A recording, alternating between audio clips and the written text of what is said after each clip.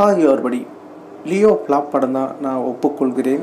லோகேஷ் கனகராஜ் மற்றும் உரியடி விஜயகுமார். நான் சூப்பர் ஸ்டார் ரஜினிகாந்துடைய ரசிகன். தெரிக்க விட்ட வீடியோ. வாங்க வீடியோக்குள்ளே போகலாம் வீடியோக்குள்ளே பொறுத்த முடியாத? நம்ம சேனலை சப்ஸ்கிரைப் பண்ணலாம். உடனடியாக சப்ஸ்கிரைப் பண்ணிங்க. நன்றி. லோகேஷ் கனகராஜ் அவர்கள் கைதி போன்ற நல்ல படங்களை கொடுத்த லோகேஷ் கனகராஜ். இப்போ பார்த்தீங்கன்னாக்கா நம்ம தலைவரை வைத்து தலைவர் ஒன் செவன்ட்டி ஒன் படம் எடுக்கிறாங்க அப்படின்றது தெரியும். இதுக்கு முன்னாடி பார்த்தீங்கன்னாக்கா விஜய் அவர்களை வைத்து லியோ என்ற படத்தை எடுத்திருந்தாங்க. அதில் நிறைய மிக்சடு விமர்சனங்கள் வந்துச்சு. அதில் பார்த்திங்கன்னா எல்லாரும் சொன்னது என்னென்னா இடைவெளிக்கு அப்புறம் ரொம்பவும் நல்லா இல்லை ரொம்ப போரு அப்படின்னு சொன்னாங்க. படம் ஃப்ளாப்பு அப்படின்னு. இப்போ அவர் அதிரடியாக ஒப்புக்கொண்ட அந்த வீடியோ சமூக வலைதளங்களில் வைரல் ஆகிட்டுருக்கு அவர் என்ன சொல்கிறாருன்னா I agree for Leo is flop second half சுத்த போர் அப்படின்றதையும் அவர் ஒத்துக்கிறார். ஓகேங்களா? விஜய் ரசிகர்களுக்கு கிளியராக இருக்குன்னு நினைக்கிறேன். காக்கா கூட்டங்கள் கத்தக்கூடாது கதறக்கூடாது. இந்த படம் ஃப்ளாப் ஆனதுக்கு காரணம் அவர் மனம் திறந்திருக்காரு. இவங்க கொடுத்த அந்த ப்ரெஷர் அதாவது எந்த மாரி ப்ரெஷர் அப்படின்னாக்கா இந்த படத்தை குறிப்பிட்ட காலகட்டத்திலே முடிச்சாகணும் அப்படின்னு ரிலீஸ் டேட்டை கொடுத்து ப்ரெஷர் அதுக்கப்புறம் இந்த படம் ஜெயிலருடைய வசூல் சாதனையை முறியடிக்கணும் அப்படின்ற ப்ரெஷர் இதெல்லாம் வந்து அவர் மண்டையை குடஞ்சி அவர் எடுக்க வந்த கதையே அவர் சொதப்பிட்டார் அப்படின்னு அவர் தெல்ல தெளிவாக சொல்லியிருக்காரு. அதுக்கப்புறம் அவர் என்ன சொல்கிறாருன்னா தயவு செய்து இதுக்கப்புறம் நான் வந்து ரிலீஸ் டேட்டெல்லாம் கொடுக்க மாட்டேன். படம் முடிஞ்ச பிறகு தான் எல்லாமே கொடுப்பேன். ஏன்னா அப்போ தான் வந்து நம்ம ஒரு ஃப்ரீயாக ரிலாக்ஸாக நம்ம போஸ்ட் ப்ரொடெக்ஷன் ஒர்க்கெலாம் செய்ய முடியும் அப்படின்னு அதிரடி காட்டியிருக்காரு. இப்போ நான் சூப்பர் ஸ்டார் ரஜினிகாந்துடைய தலைவர் ஒன் செவன்ட்டி ஒன் படம் செய்ய போகிறேன் அந்த படத்தில் லியோவில் பண்ண அந்த மிஸ்டேக்கை நான் பண்ணக்கூடாதுன்னு நினைக்கிறேன். அதனால் ப்ரொடக்ஷன் டீம்கிட்ட நான் ஏறடி கேட்டுட்டேன். நீங்கள் ரிலீஸ் டேட்லாம் கொடுக்காதீங்க. எனக்கு ப்ரெஷர் கொடுக்காதீங்க அப்படின்னு ரிக்வஸ்ட் பண்ணியிருக்கேன். அப்படின்றதையும் சொல்லியிருக்காரு. கண்டிப்பாக தலைவர் இவருக்கு ப்ரெஷர் கொடுக்க மாட்டார்.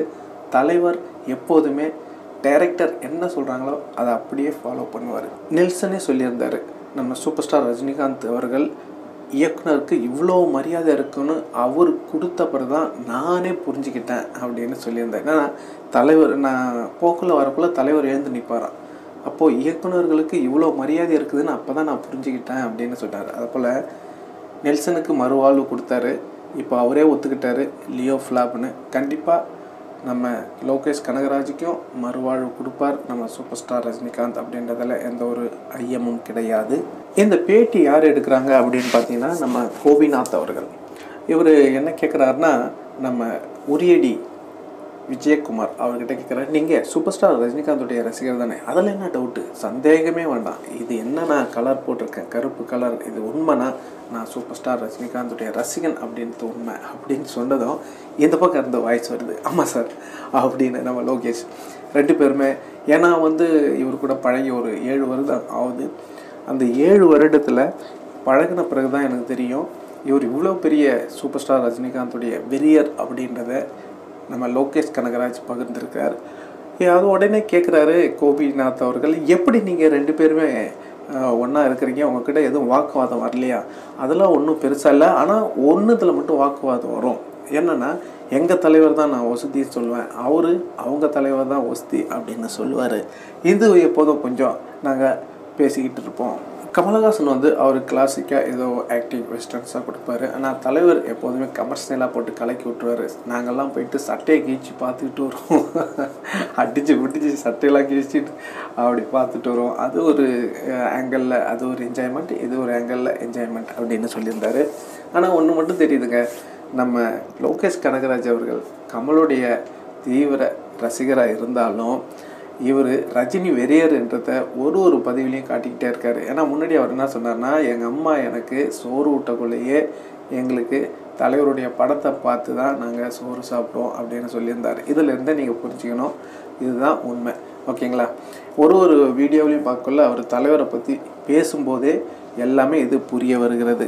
விஜயகுமார் ஒரேடி விஜயகுமார் இவர் சூப்பர் ஸ்டார் ரஜினிகாந்துடைய ரசிகர்னு சொல்லிட்டாரு. தலைவரின் வாய்மை வெல்லும் சேனல் சார்பாக அவருடைய அந்த ஃபைட் கிளப் இவங்க ரெண்டு பேரும் தான் இணைந்து எடுத்திருக்காங்க. நம்ம லோகேஷ் கனகராஜும் உரியடி விஜயகுமாரும் இணைந்து அசத்திருக்காங்க படம் பிளாக் பஸ்டர் ரேஞ்சு தான் இருக்குது செம்ம மாசாக இருக்குது கண்டிப்பாக எல்லாரும் போய் கொண்டாடுங்க.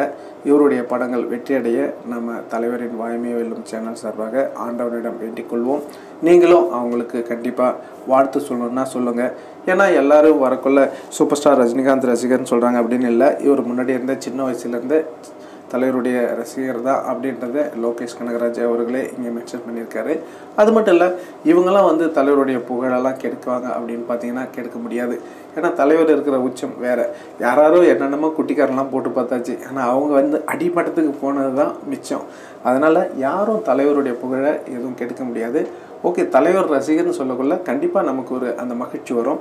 அந்த மகிழ்ச்சியில் தான் அவர் வெளிப்பாடு தான் இன்றைக்கி அவருக்கு வாழ்த்து சொல்கிறோம் நீங்களும் அந்த மனசார வாழ்த்துங்க. தலைவர் வந்து அவருடைய எதிரிகளையும் வாழ்த்துவார்.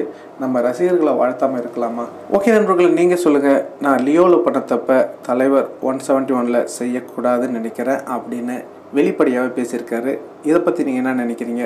உங்களுடைய கருத்துக்களை கமெண்டில் சொல்லுங்கள் அது மட்டும் இல்லாமல் இந்த தகவல் உங்களுக்கு பிடிச்சிருந்தா லைக் பண்ணுங்கள் ஷேர் பண்ணுங்கள் கமெண்ட் பண்ணுங்கள் முக்கியமாக சப்ஸ்கிரைப் பண்ணுங்கள் நன்றி வணக்கம். ஜெய்ஹிந்த்